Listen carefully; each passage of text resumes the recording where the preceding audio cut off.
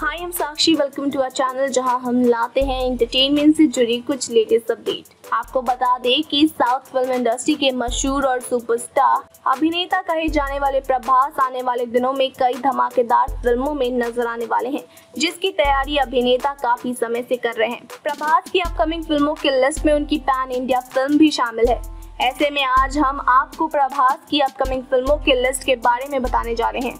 दरअसल प्रभास की बहुत जल्द ही रिलीज़ होने वाली फ़िल्म राधे श्याम है, जिसमें प्रभास के साथ अभिनेत्री पूजा हेगड़े की जोड़ी दिखाई देने वाली है।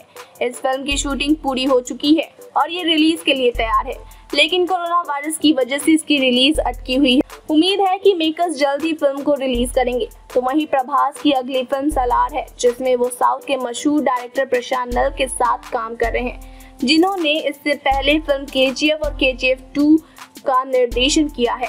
सलार फ़िल्म में प्रभास के साथ श्रुति हासन मुख्य किरदार में नज़र आने वाली हैं। इसके अलावा प्रभास फ़िल्म आदि पुरुष में नज़र आने वाले हैं, इसका निर्देशन ओम रावत कर रहे हैं। फ़िल्म में प्रभास के अलावा सैफ अली खान, कीर्ति सेनन और सनी सिंह अहम रोल में नज़र आने वाले हैं। आपकी जानकारी के लिए बता दें कि आदि पुरुष की कहानी पौराणिक कथा रामायण पर आधारित है। आपको ये भी बता दें कि प्रभास दीपिका पादुकोण और अमिताभ बच्चन के साथ एक फ़िल्म में दिखाई देने वाली हैं, जिसका निर्देशन नाग अश्विन करने वाले हैं। फ़िल्म का टाइटल अभी तय नहीं किया गया है। ऐसे में इन फ़िल्मों को लेकर आप लोग कितने एक्साइटेड हैं, हमें कमेंट बॉक्स में ज़रूर बताएँ। थैंक यू सो मच की watching for more entertainment news and update